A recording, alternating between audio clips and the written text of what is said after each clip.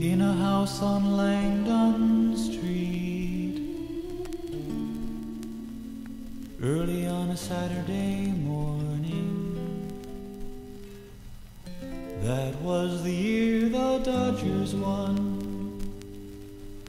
Tony got a bicycle all his own. In a house on Langdon Street, in the turning of time, burning.